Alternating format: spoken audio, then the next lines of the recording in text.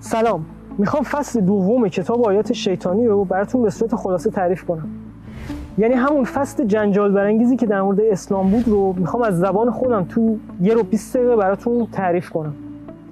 من پژوهشگر دینیم و با دیدگاه علمی جدید دینها رو تحلیل و بررسی می‌کنم. ویدیوهایی مثل خدای کوانتومی تو شبکه من هست. و روح رو به صورت مادی و الکترومغناطیسی توی ویدیویی توضیح دادم به نام پایان ویروس که لینکش رو پایین این ویدیو می‌ذارم. بعدا برین نگاه کنید اما می‌دونم خیلی از شماها جستجوگرین و دوست دارین بدونید تو اون کتاب جنجالی آیات شیطانی چی نوشته بود. منم بهتون کمک می‌کنم اینو بفهمید اما یادتون نره که هرچی من ازش سر در بیارم شما هم ازش سر در میاریم کتاب آیات شیطانی درباره دو تا شخصیت به نام جبرئیل و سلدین چمچاست که در ابتدای داستان این دو شخصیت خیالی هواپیماشون منفجر میشه. اما بعد از سقوط به طرز معجزه آسایی سالم به زمین می‌رسن. این دو تا شخصیت در طی داستان خیلی عوض میشن و حتی تغییر شکل میدن و خیلی اسرارآمیزن. جبرئیل از کنار مادرش عبور می‌کنه و مادرش بهش میگه شیطون چرا غذای مسلمان رو با گیاهخوارای هندو عوض کردی؟ حالا همه مشتری از ما ناراضی هن. اما جبرئیل کوچولو دوباره اونورتر به خواب میره و در خواب می‌بینه که از آسمان پایین افتاده و در افق خورشید با بازوانی افراشته ایستاده. اما بعد دوباره تو خواب می‌بینه که به بالای درخت صد رفته. و ولی اونجا نمی‌تونه چنگ بزنه و درخت رو بگیره و پایین میفته. شیطان و سه دخترش لات و منات و عزا با هم شعر و آواز می‌خونن و دختراش میگن نمی‌دونی چه خوابی برای تو و اون سوداگری که بالای کوه دیدیم. جبرئیل همونیه که در گذشته چشمه زمزم رو به هاجر کنیز ابراهیم نشون داد و اون رو بعدا با گل و غزال طلا پوشانید.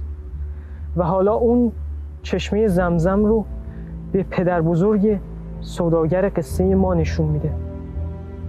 بله و سوداگر می آید گاهی جبرئیل توی خوابش از اون حالت ناخداگاه به خداگاه می‌رسه و بلند فریاد می‌زنه من دیوانه شدم.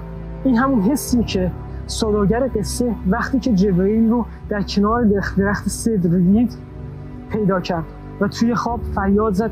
من دیوانه شدم و می‌خواست خودش رو از بالای تخت سنگی به پایین پرتاب کنه. از کوه هرا بالا می رود تا به غار برسد. روز تولدش است. در شهری که پیش روی اوست یعنی شهر جاهلیه جشن و سرور برپاست. اما او لباس نو نپوشیده. زیرا او مردی زاهد منش است. این دیگر چه سوداگری است؟ سوال. نقطه مقابل ایمان چیست؟ نه بی ایمانی نیست. بی ایمانی خود نوعی از ایمانداری است. زیرا با قطعیت همراه است. نقطه مقابل ایمان شک است. شک خمیرمایه انسان است. اما فرشتگان چه؟ آیا فرشتگان هم شک می کنند؟ بله فرشتگان هم شک می کنند اما خدا فرشتگان را نرم کرد. و به آنها گفت شما ابزار خوشبختی و لعنت انسانها روی زمین هستید و آنها را آرام کرد. اما انسانها به همه چیز شک می کنند حتی با آنچه که با چشم خود دیدند اما اگر فرشتگان را ابزار کنی آنها نرم می شوند نویسنده چهره ماهون رو توصیف می‌کنه. پیشانی بلند بینی عقابی شانه های پهن باسنی باریک قدی متوسط با ظاهری فکور و عبایی دارد. چشمانش درشت است گامهایش بلند است اما گامهایش را سبک برمیدارد چون یتیمان می‌دانند چگونه با احتیاط و سریع حرکت کنند. مردی سالم است رباخار نیست. اما سوداگری عجیب است که به بالای کوه حرام می رود و گاه تا یک ماه آن بالا می ماند سوداگر نام عجیبی دارد که در رویا تغییر یافته است. نامش به معنی شایسته سپاس است معنی می‌دهد. اما مردم جاهلیه و مخالفانش نامهای دیگری نیز به او دادند مانند آنکه از هرا بالا می رود ماهومت یا ماوها مرد اما در اینجا نامی که فرنگی ها به او دادند و یک برچسب شیطانی است استفاده می شود بردگان سیاه تصمیم گرفتند که نامهای تحقیرآمیز را با قدرت استفاده کنند. به همین دلیل سوداگر قصه ما که از کوه حرا بالا می رود و انگیزه پیامبری دارد در اینجا ماهوند به معنی شیطان نام برده می شود.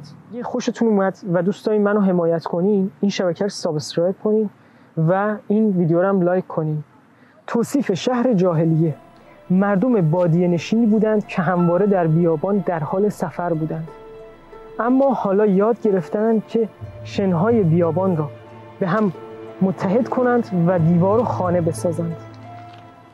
همه شهر جاهلیه از شن و ماسه تشکیل شده است و آب دشمن این شهر است و آبکش ها منفورترین افراد این شهرند.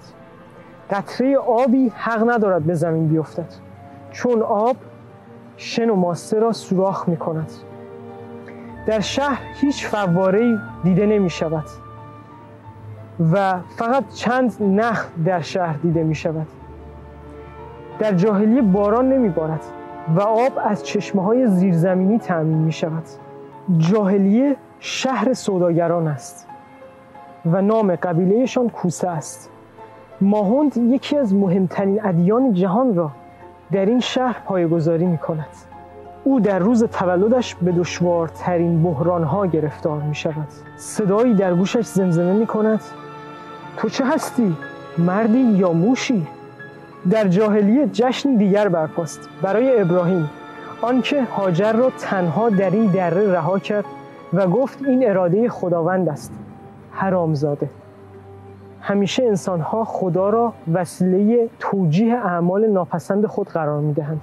هاجر تنها و بدون آب در این بیابان میدوید تا اینکه جبرئیل چشمه زمزم را به او نشان داد. اما مردم جاهلیه نه به خاطر هاجر که به خاطر آن مرد زندوست جشن گرفتند. اما همه اینها بهانه است برای خوردن و مصرف کردن. در جاهلیه جشن و سرور برپاست و بوی عطر و ادویجات عربی و چینی در همه جا پیچیده. در بازار همه مردم مسرورند اما بین مردم مردی با ریش کوتاه و ابروانی گره خورده دیده می شود که راه می رود و با همه مردم شهر فرق می کند نام او شیخ سیمبل است. او صاحب تمام تجارت دینی شهر و خانه سیاه و معابد و دروازه ها و بتخانه است. او ثروتمندترین مرد جاهلی است. زیباترین زن شهر هند همسر اوست. او مسئول سرکشی به کاروانها و شتربانان است. در جاهلیه چهار تبار از قوم کوسه به کارها رسیدگی می کنند گروه ها و مذاهب مختلفی در شهر جاهلیه زندگی می کنند یک گروه از یهودیان که به وجود خدا در بدن شخصی به نام مسیح معتقدند. گروه دیگر نبتی که ازدواج برادر خواهر بین آنها عادی است و گروه مقهوهی ها که تجارت شمشیر و سنگ و شراب و افیون را در دست دارند. و گروه چهارم نیز شترمانان و مالکین صنعت بردهداری هستند. شهر جاهلیه به شکل دایره در دایره به دور خانه سیاه ساخته شده است و خانه های دایره نزدیک به خانه سیاه از آن ثروتمندان است و فقیرترین افراد در دورترین دایره قرار دارند. ابو سیمبل در بازار جاهلیه راه می رود و تنها یک نام را زیر لب تکرار می کند ماهوند ماهوند ماهوند. تنها یک نام می تواند این مرد ثروتمند را بلرزاند. ابو سیمبل به پیش شاعران شهر می رود شاعران شهر چند روز دیگر مسابقه دارند و بهترین شاعران اشعارش به دیوار خانه سیاه نصب می شود در بین شاعران قویترین آنها بعل نام دارد. ابو سیمبل بعل را به گوشه می کشد و با او معامله می کند معمولا شاعران برای کشتن دیگران بدنامی قبیله همسایه و از این قبیل کارها استخدام می شوند یکی از شغلهای جاهلیه از آن عزاداران حرفه است که برای مرگ کسی سینه می‌زنند و به سر و صورت خود می‌زنند و برای این کارها پول می‌گیرند. اگر کسی کشته شود خانوادهش قسم می‌خورند که انتقامش را بگیرند و خون را با خون بشویند. مردمان جاهلیه معتقدند که این دره ناف زمین است. زیرا زمین در ابتدا حول این منطقه میچرخیده. و اولین بار که حضرت آدم به اینجا آمده یاقوت درخشانی روی چهار ستون بوده و به دور آن چهار دیوار کشیده و این اولین خانه بوده. اما بعدها این خانه چندین بار دوباره بازسازی شده و یک بار هم حضرت ابراهیم این خانه رو بازسازی کرده. اما رفته رفته با تماس زائرین این خانه سیاه شده و از آنجا دوران بتپرستی آغاز شده. بعد از ماهوند دشمن دوم ابو سیمبل و تاجران بازار مکاره شهر جاهلیه سفرهای دریایی است. در گذشته از خشکی برای سفرهای تجاری استفاده شده و کاروان سرها ساخته شدند و جزیره عرب و بین النهرین نیز در بین این مسیر قرار داشته. اما حالا کشتی های تجاری هر روز قویتر ساخته می شوند و دریانوردان ماهرتر می شوند و ابزارهای آنها دقیقتر می شود و به همین دلیل تجارت شهر جاهلیه هر روز از رونق می افتد. شورای شهر جاهلیه نیز به دنبال یافتن مجسمه خدایان بیگانه دیگری از اطراف جهان است تا بتواند از زائران امرار معاش کند همچنین شیخ سیمبل به شورا پیشنهاد کرده که مراسم دینی و مذهبی را با چاشنی های غیر مذهبی و غیر دینی ترکیب کنند تا بتوانند درآمد بیشتری از زائران داشته باشند. به همین دلیل شهر جاهلیه پر از فاحش خانه، رقاص خانه، قمارخانه و سر و صدای موسیقی است و به همین دلیل نیز شهر شهرت یافته. اما بعدها به دلیل از رونق افتادن تجارت مردم شهر جاهلیه شروع به دزدی و اخاذی از زائران می کنند و در یکی از این درگیری ها دو تن از زائران کشته می شود و بعد از آن هر زائری که به آنجا می آید بعد از برگشت دیگر به آنجا نمی رود و شهر جاهلیه پر از دزدی و اخاذی شده و در یک چنین دنیایی است که ماهوند پیام خود را به آن آورده. یکی خدا فقط یکی ابو سیمبل شیخ جاهلیه بل را به خانه سیاه می‌برد تا بتها را به او نشان دهد. بوت هابیل و قابیل نپتیشارا بوت دیونیسوس خدای شراب نصر قول پیکر و مناف خدای خورشید. اما خدای دیگری نیز در جاهلیه وجود داشت که از همه معروفتر بود اما به اندازه دیگران محبوب نبود و آن الله است. الله یعنی خدا. و بعد به سه الهه لات و منات و عزا می‌رسند. عزا به معنی الهه عشق است. و منات که چهره سیاهی دارد رمزالود است. و الات یعنی رب و که نامش برابر الله است و مخالف آن است. بل و شیخ جاهلیه در شهر راه می رفتند و به دروازه های مختلف سر می زدند و بتهای آنها را تماشا می کردند وقتی بل به بت الا می رسد بر سجده می افتد و برای بت نگهبان خود الات شکرگزاری می کند شیخ جاهلیه به بل گفته بود که ما هر دو برای یک بانو خدمت می کنیم و بل خیال کرده بود که منظورش اللات است. اما وقتی که بل روی سجده افتاد تا اللات را شکرگزاری کند شیخ جاهلی محکم با لگت به او کوبید و به او گفت منظورم اللات نبود. برو و بر علیه ماهوند و سه نوچش بلال و خالد و حمزه شعر بگو. بل به او می‌گوید آن سنوچه مفتخور و رهبرشان مهم نیستند. چگونه یک خدا می‌تواند در مقابل 360 خدا بایستد؟ در آن زمان 360 بت در خانه سیاه بود. بل شروع می‌کند به خندیدن. انقلاب آبکشان و بردگان چرا باید از این چهار نفر بترسی؟ ابو سیمبل می‌گوید بله باید از آنها ترسید. برو و بر علیه آنها شعر بگو. چاره دیگری نداری. هند با بعل رابطه داشت. هند تشنه دانش بود و به همین دلیل پیش بعل می‌رفت و ابو سیمبل نیز از این خبر داشت. اما چیزی نمی‌گفت تا کارش با بعل تمام شود و نقشه داشت تا بعد از این او را با شمشیر بکشد. بعد از این ابو سیمبل به خانه میره تا ندیمه ها دستان و پاهاشو بشورن. و با خودش حرف می‌زنه و میگه باید از خدای آنها ترسید. از آن وحدتگرایی هولناکی که دارند. ماهند نیز تاجر موفقی است. اما هرگز به شورای جاهلیه دعوت نشده. چون یتیم بوده و از ارتباطات خانوادگی محروم بوده و به همین دلیل فکر می‌کند که حقش خورده شده و سرش بی کلاه مانده. او از دیرباز آدم تکرو و جاه طلبی بوده. اما کوهنورد هرگز تنها به قله نمی‌رسد. اما شاید شاید در راه با فرشته ای برخورد کند. آها حالا فهمیدم چه نقشه ای دارد. ابو سیمبل برای ماهوند پیام میفرسته و او رو برای یک پیشنهاد دعوت می‌کنه. اما وقتی که ماهوند میره و دیر برمیگرده بین نوچه هاش اختلاف میفته و اونا نگران میشه وقتی که ماهوند برمیگرده انقدر خسته است که انگار از شدت خستگی داره از پا میفته انگار که با یک دیوی دست و پنجه نرم کرده. و بعد به نوچه هاش میگه که ابو سیمبول پیشنهاد همکاری کرده.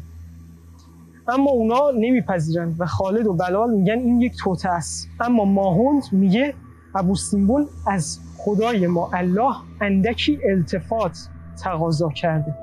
در عوض این تقاضا ماهوند عضوی از اعضای شورای جاهلیه میشه که خدای بزرگ ما الله در دلش طریقی پیدا کنه و تصدیق کنه. که فقط سه تا فقط سه تا از 360 بوت قابل ستایش و پرستش باشن یعنی الله پرستش لات و منات و عزا رو جایز بشمانه اما سلمان فارسی به ماهوند میگه که این یه دامه این یه توته است. اگر قبول کنی بعدش تو رو کذاب خطا می‌کنن و میگن چطور همون چیزی که تو خواستی رو جبرئیل به تو وح کرده. ولی ماهوند بهش میگه که من گوش کردن رو خوب آموختم. نه گوش کردن عادی گوش کردن همراه پرسش. غالبا وقتی که جبرئیل ظاهر میشه انگار که می‌دونه در دل من چی, چی هست و من چی می‌خوام. انگار که جبرئیل از درون قلبم ظهور می‌کنه از درون جرفای روحم. باز سلمان فارسی می‌گوید اگر این را بگوییم با شعار لا اله الا الله مخالف است و آنها ما را مسخره می‌کنند. ماهوند می‌گوید می‌دانید که چقدر در جذب پیروان ناموفق بودم. می‌خواهم کاری کنم که ایمان آوردن آسانتر شود. اما این مردم هیچ وقت بودهای خودشان را فراموش نمی کنند. بعد از نماز ماهوند یارانش را در آغوش می‌گیرد و می‌گوید پیشنهاد ابو سیمبل قابل توجه است. منظور این نیست که آن سه بت برابر با خدا باشند بلکه ابو سیمبل فقط می‌خواهد آنها در میانه مقیاس الهی و در جایگاهی پایینتر از الله قرار بگیرند. مثل فرشتگان و شیاطین ما وجود آنها را به عنوان موجودی بین انسان و خدا پذیرفته ایم ابو سیمبل می‌خواهد این ثبوت به مجموعه فرشتگان الهی اضافه شوند. یاران پیامبر و حمزه با او مشاجره می کنند و قرار بر این می شود که ماهوند به بالای کوه برود و از جبرئیل بپرسد. اینجا نویسنده میره سراغ شخصیت جبرئیل. جبرئیل توی این کتاب شخصیت مهمیه و تغییر شکل پیدا می‌کنه. گاهی وقتا یه پسر بچه است گاهی وقتا یه هنرپیش است گاهی وقتا یه فرشته است. و حالا میره توی خواب این پسر بچه. اینجا هم میگه جبرئیل همان کودکی است که خواب می‌بیند. و در خواب گاهی وقتها فرشته است گاهی وقتا سوار بر جر سقیل در حال فیلمبرداری است و گاهی وقتا پایین میآید و بین حمزه و بلال قرار به صورت نامری قرار می‌گیرد و ماهند را تماشا می کند و گاهی وقتا در یکی از نقش های داستان می رود. اما بیشتر موقع ها جبرئیل روی کوه حرام می نشیند و جاهلیا را از دور تماشا می کند وقتی که حمزه گفت برو از جبرئیل بپرس جبرئیل در خواب گفت کی؟ من؟ چرا؟ همه فکر می‌کنن که همه جوابها در آستین من است. حالا من از این انسان فانی که میآید جواب سوالش رو از من بپرسد میترسم. که بین شرک و توحید یکی را انتخاب کنم. حالا جبرئیل در نقش ماهوند از کوه بالا می رود. جبرئیل هم باید نقش ماهوند و هم نقش جبرئیل را بازی کند و این صحنه ها باید جدا جدا فیلم برداری شود و بعد به هم بچسبد. راستی بچه ها تا یادم نرفته بذاریم بگم که از روی کتاب آیات شیطانی سلمان رشدی یک فیلم هم در آمریکا ساخته شده. به نام Inception که من قبلا اینو نقدش رو اینترنت گذاشتم. لینکش این بالا می‌ذارم تو زیر ویدیو می‌ذارم. بعدا برین حتما اینو ببینید خیلی جالبه. جبرئیل سعی کرد راه ماهوند برای رسیدن به حرا را سخت کند. ماهوند باید از صخره زیادی رد می‌شد و از دشت و صحرا و از بین خارها تا به حرا برسد. و حرا مانند یک موجود تخیلی بالای سرت بود. و وقتی از آن بالا می‌رفتی تمام دشت و جاهلی پشت سرت بود و باید از قله پایین می آمدی تا به قار حرا می رسیدی و قار حرا به اندازه قد یک آدم است. و وقتی بالا می روی همه سنگ ها فریاد می زند ماهوند ماهوند ماهوند. وقتی ماهوند به قار می‌رسد خوابش می‌برد و بعد از آن خواب بیدار می شود و دوباره خوابش می‌برد. اما این خواب دوم یک خواب معمولی نیست شبیه خلص است. ماهوند درد شدیدی در شکمش حس می کند کشیدگی در قسمت ناف و جبرئیل بر روی ماهوند میافتد و گویی آنها از ناف به یکدیگر متصل شدند و جبرئیل از شکم ماهوند بیرون می آید اینجا دیگر جبرئیل نیست که سخن می‌گوید. انگار ملک مقرب درون ماهوند است. ماهوند به خلصه می رود و گوش می دهد همان گوش دادن همراه پرسش. چه کنم؟ تو بگو جبرئیل چه کنم؟ این همه معجزه آوردیم اما آنها ایمان نمی آورند تو مرا از مسجد الحرام به مسجد الاقصا بردی. و از آن بالا آن شهر مقدس رو زیارت کردم. و بعد از نماز مرا به آسمان هفتم بردی. و بعد از بازگشت از درخت صدر در راه موسا گفت پنجاه مرتبه نماز زیاد است و پنج مرتبه به درخت صدر رفتم تا خدا به پنج بار نماز روزانه راضی شد. و همه این داستان رو برای مردم تعریف کردم. اما باز هم الات را میپرستند. آیا لات و عزا و منات دختران خدایند آیا تو خواهری داری؟ جبرئیل ساکت بود. جون مادرت از من نپرس. استراب ماهوند وحشت انگیز بود. آه من مردی مغرورم. آیا باید برای عضویت شورای جاهلی خودم را بفروشم؟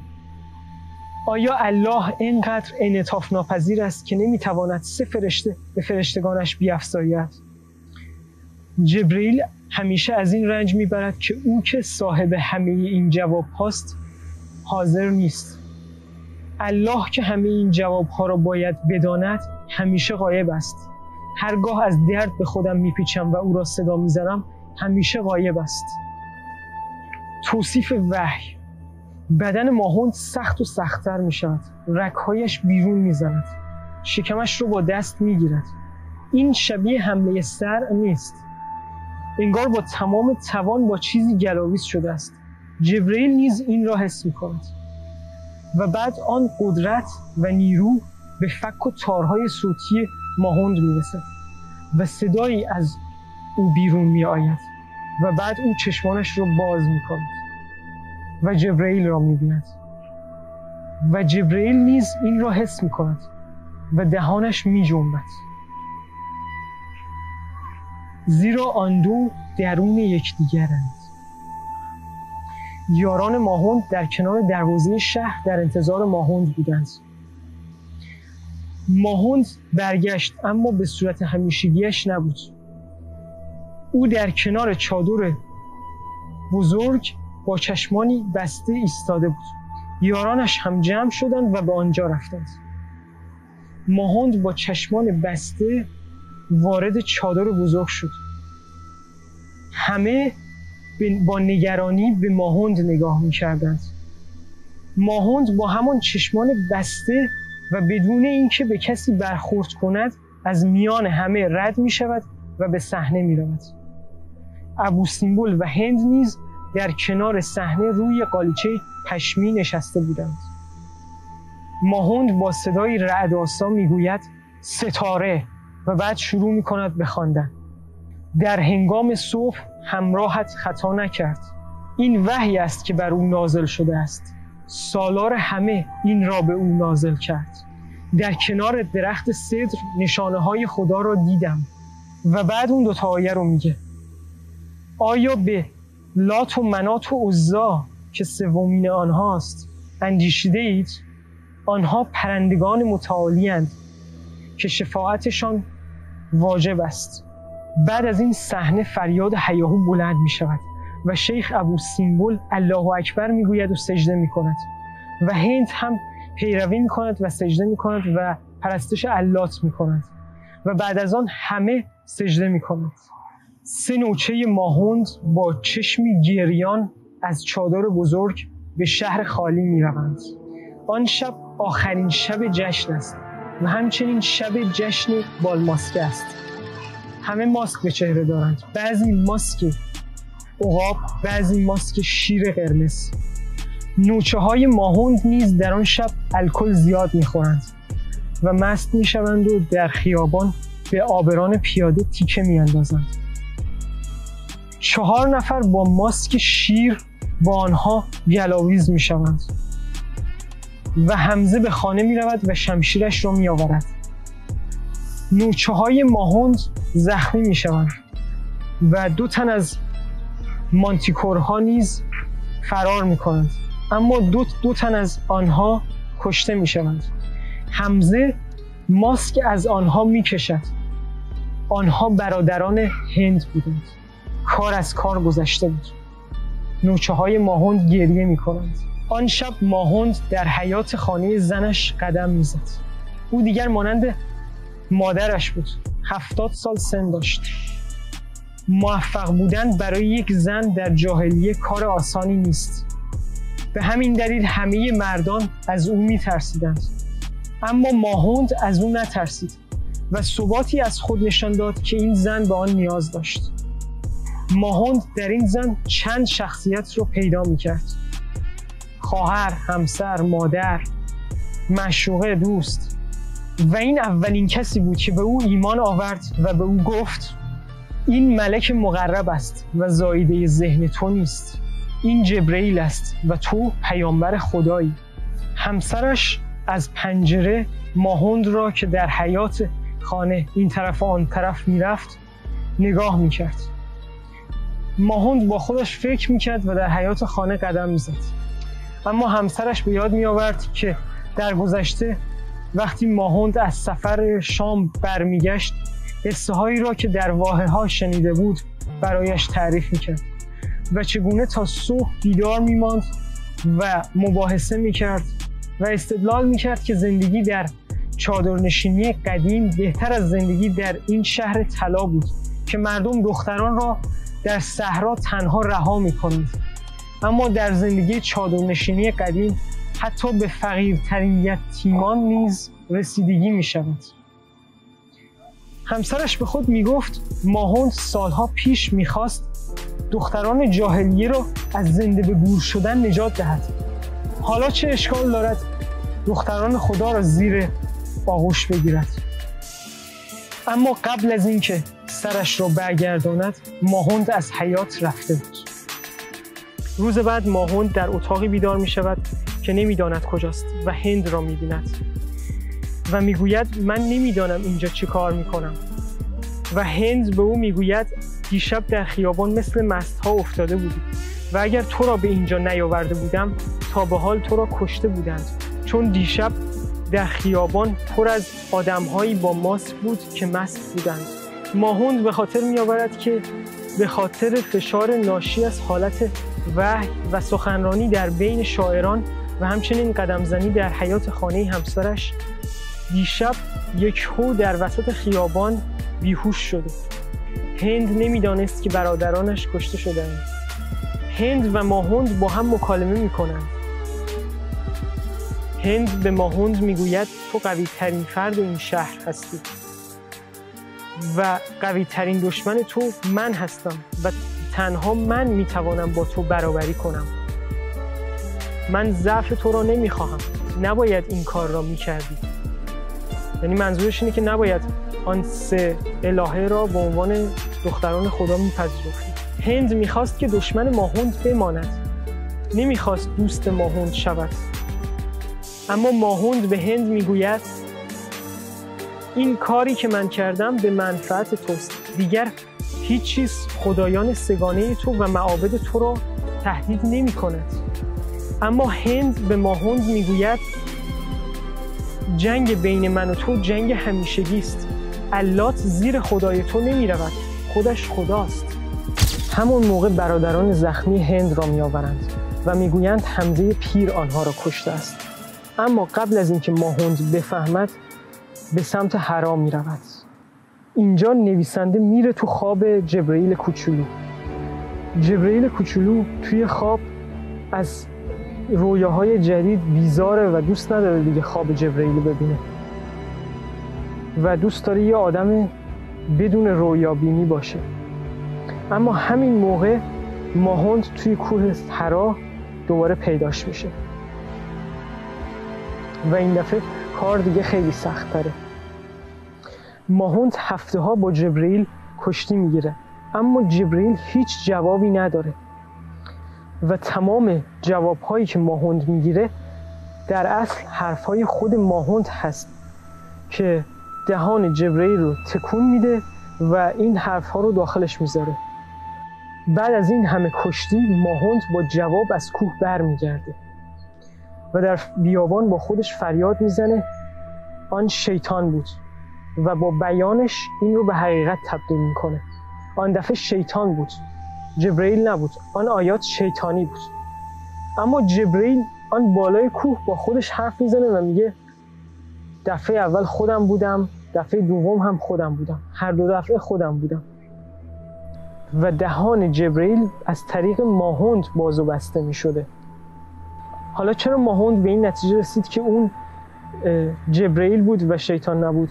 به خاطر اینکه ماهوند بعد از این کشتی گرفتن ها شکست می‌خوره و به خودش میگه که فرشته خدا هرگز شکست نمی‌خوره و به همین دلیل اون جبرئیل واقعی بود. اما شکست ماهوند به خاطر خستگی و ناتوانی خودش بود. ماهوند برمیگرده و یارانش او رو از خشم هند نهی می‌کنند. اما ماهوند یک راست میره خونه سیاه و مردم رو جمع می‌کنه و میگه آن آیات شیطانی بود و آنها حذف می‌شوند. و بعد آیه جدید میده. آیا او دختر میآورد و شما پسر؟ همانا این تقسیمی ناعادلانه است. مردمی که جمع شده بودند متحیر و شکه می‌شوند و خانه سیاه را ترک می‌کنند. ماهوند به خانه می‌رود و همسرش رو مرده مییابد. و هفته ها در خانه میماند و از خانه بیرون نمیآید. گویی این انتقامی است که هند از او گرفته است. نام دین جدید تسلیم است. ابو سیمبل پیروان ماهوند را تحریم می کند و آنها را مورد آزار و اذیت و شکنجه قرار می دهد اما هر روز به تعداد آنها افزوده می شود پیروان ماهند به یسرب می روند اما خالد جا می مانند خالد می گوید ای ماهند من به تو شک کردم اما تو حقیقت مهمتری را آوردی شیطان. حالا ماهند به شهر خودش رسیده است مدینه. اما جبرئیل از این شانس ها ندارد. جبرئیل آن بالا بالای کوه هرا تنهاست و سه پرنده لات و منات و عزا بالای سرش میچرخند و او را اذیت می‌کنند. یادتون باشه که من این کتاب رو خلاصه کردم و هیچ کنون از زیبایی های ادبیش رو نمی‌تونم اینجا به شما منتقل کنم. پس اگه دوست دارین این کتاب رو اون زیبایی ها و خیال انگیز بودنش رو تجربه کنید لینکش رو پایین این ویدیو می‌ذارم. برین بخونید من ویدیوهای دیگه ای هم دارم که توش به صورت علمی دین رو بررسی کردم. مثل خدای کوانتومی در فیلم ماتریکس و روح که به صورت فیزیکی و الکترومغناطیسی اون رو توضیح دادم توی ویدیوهای دیگه. اینا لینکش پایین این ویدیو هست. اگه خوشتون اومد و دوست دارین منو حمایت کنین این شبکه رو subscribe کنین و این ویدیو رو هم لایک کنین. چون برای ساخت این ویدیوها تهدیدهای زیادی برای من فرستاده میشه. پس نیاز به حمایت شما هست. خیلی ممنون خدا نگهدار. شن صحرا رو به هم متحد کنند. جمعش شن صحرا رو